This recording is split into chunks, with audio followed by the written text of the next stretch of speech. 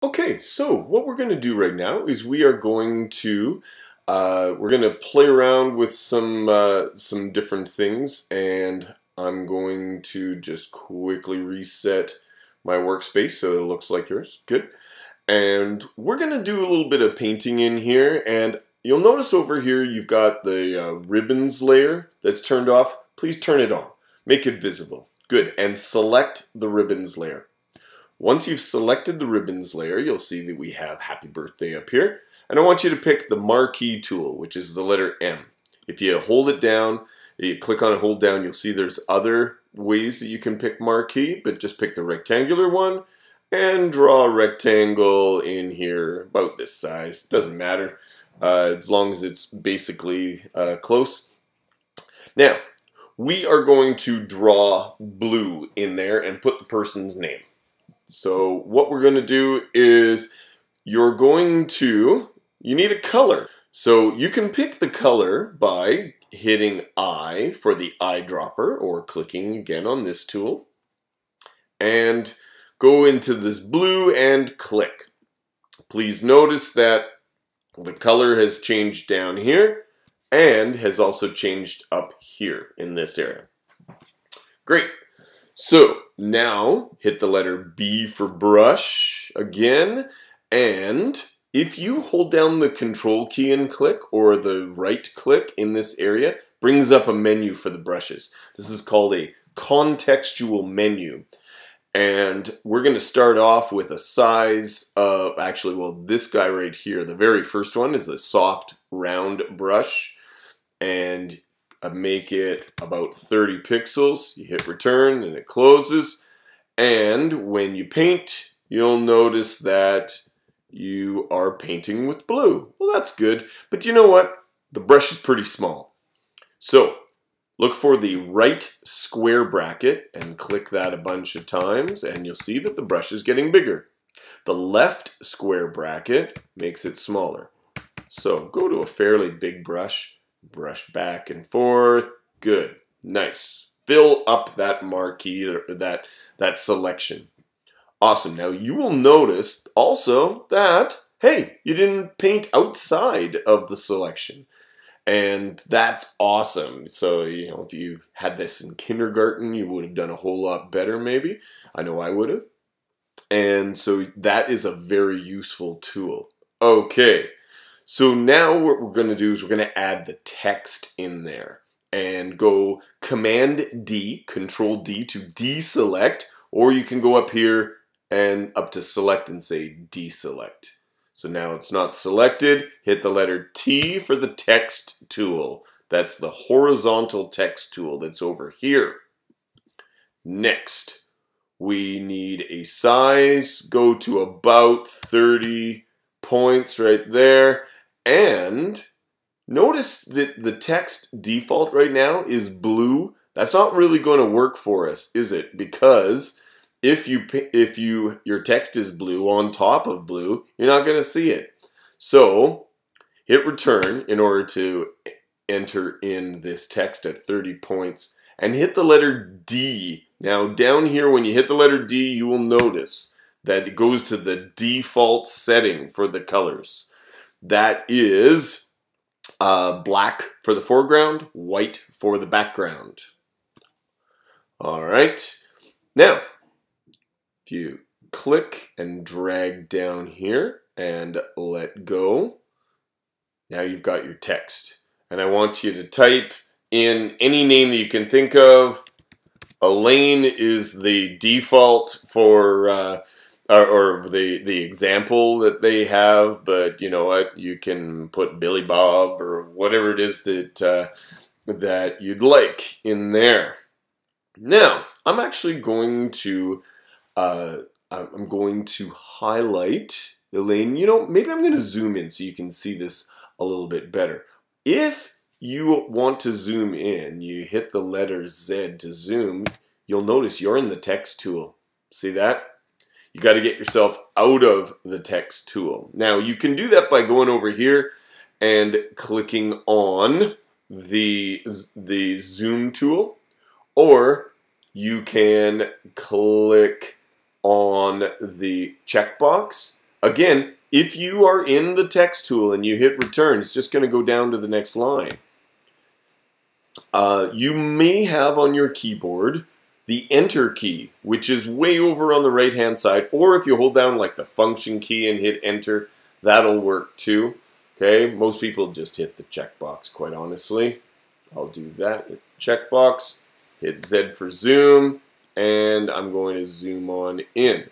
Hit the space bar, and I get the hand tool right away, let go of the space bar, and hit the letter T. You're back in the text tool. And you can click on the name. Double click on the name, and we're going to change the color. Click on this and see the eyedropper that we have here? You can click around, pick different colors. I always like to pick a color that is going to match the uh, match the photograph or uh, whatever. So I use the eyedropper a lot. But if you want to, you can also use some of the swatches. So if you pick the swatch, uh, you can get in here. Actually, you probably have uh, a different swatch at the moment, which I can't get, I can't show because the uh, because I'm currently in the text tool. I can't make a number of changes, so I will click OK and then the checkbox and then I'm going to say show me the small thumbnail. That's probably what you have right at the moment. So double click back on Elaine and maybe I don't want neon. Maybe I'm going to go with this yellow. Okay. And then I'm going to say, you know what? I kind of want the letter E to be a different color. So you can highlight the letter E and pick maybe this gold right here. Okay.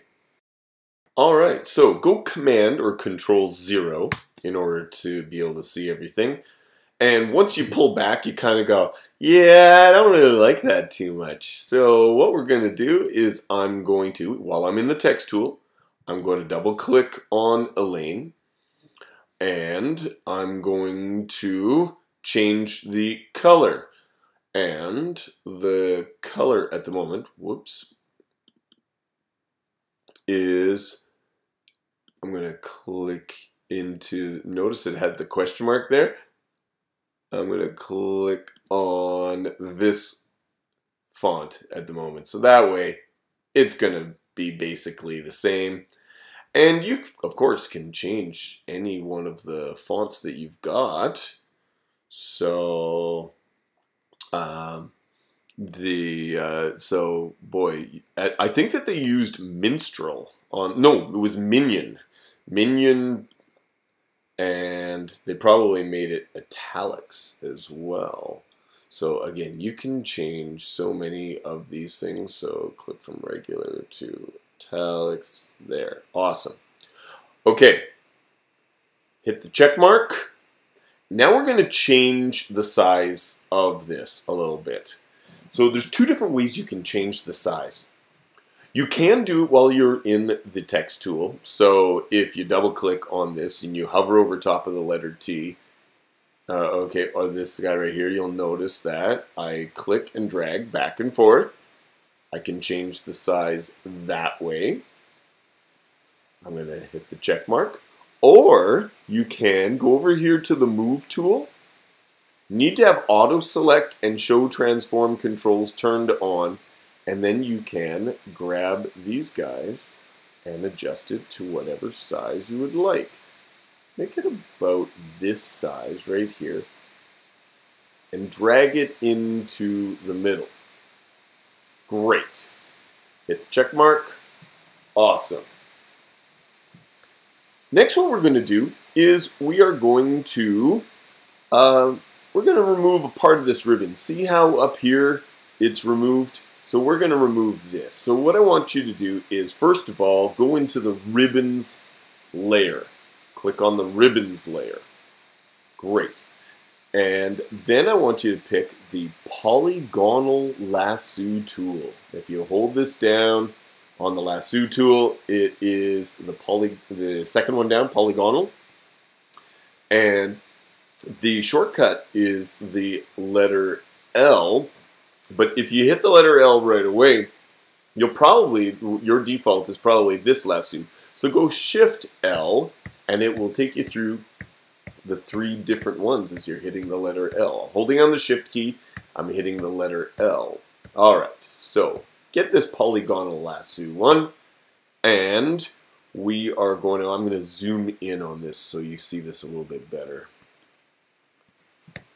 And so now I'm going to click slightly outside. I'm going to click once, come into about the middle, click again.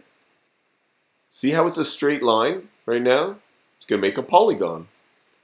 Now, I can click here and I can close this if I want, or I, what I can actually do is just double click and it automatically draws a straight line to the end.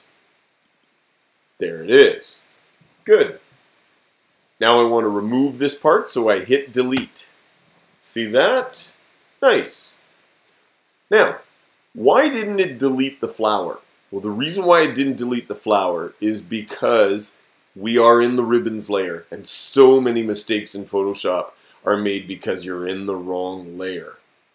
So I would say probably if you're finding that something's not working with Photoshop 80% of the time, it's because you're in the wrong layer. Let me show you. If I click on the rose layer and I hit delete, boom, see how a part of the rose disappears? I'll undo that by going onto my history window, backing up. See how I can do that? I can actually back up a whole lot. And I can go forward. Go to there. I'll put away the history window. And now I want to deselect this area. Go uh, Command D or Control D. You can also find it under Select and Deselect. There it is. Command 0 so that we can see everything. Control 0. Yeah, I like that. That's quite nice. All right, let's save this. Command S to save. And in actual fact, what I'd like you to do is I want you to save this into your Photoshop 1 folder. And I'm also going to get you to, uh, I'm going to get you to submit this to, please, on to Google Classroom. All right. Thanks very much.